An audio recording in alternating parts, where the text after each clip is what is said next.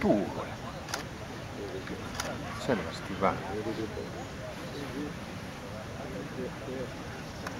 Onko nämä tädit, onko ne kuukausipalatella vai onko ne pelkällä provikalla? Tota, ne on varmaan, niillä on erilaisia sopimuksia, mutta Retsehän on ihan niin Mikon palkkalistoilla.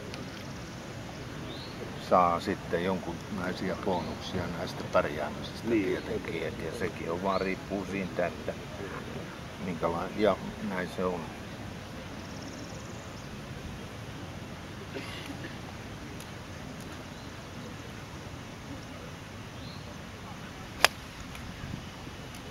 Se ihan heikolta näyttää. Hyvä veto.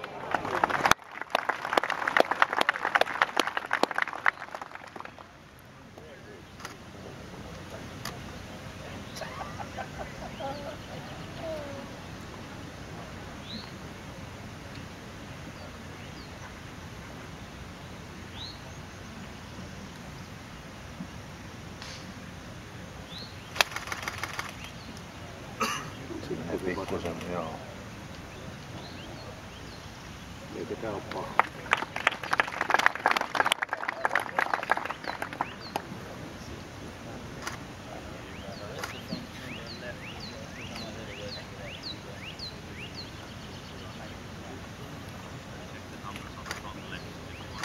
算 number 了，我算。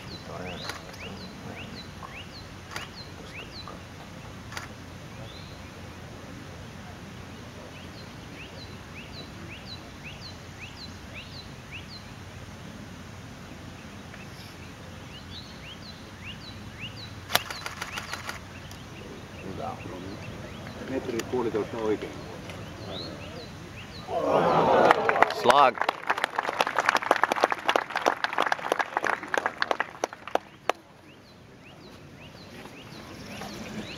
Lyökö lisää?